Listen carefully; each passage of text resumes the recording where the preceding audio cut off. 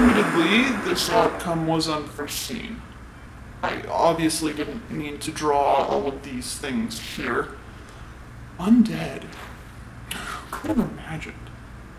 It's not a very scientific term, but as something that is immediately recognizable to even the layman, it will do for now.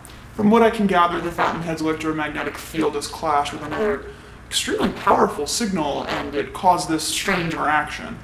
No matter. It only means that I need more data to properly calibrate the machine to this, uh, to the unfamiliar nature of this current iteration of the biosphere. I've not been idle.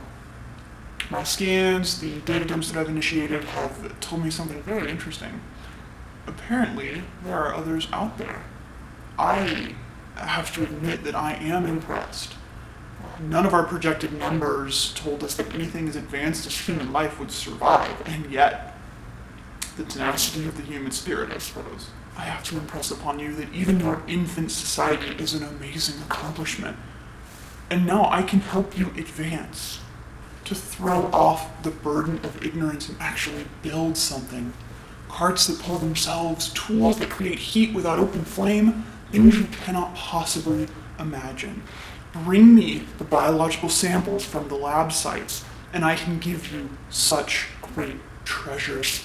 Research notes and technical drawings, metal and minerals, the building blocks of an infant society. Such an endeavor is too lofty for me to explain to every common person.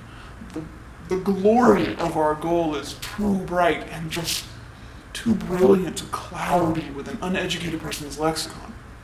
So send me your princes, your primarchs, and your principals, so that I might speak to them and we can reach an accord. Whichever group brings me the most samples will have my dedication and my science. We are going to build something amazing together.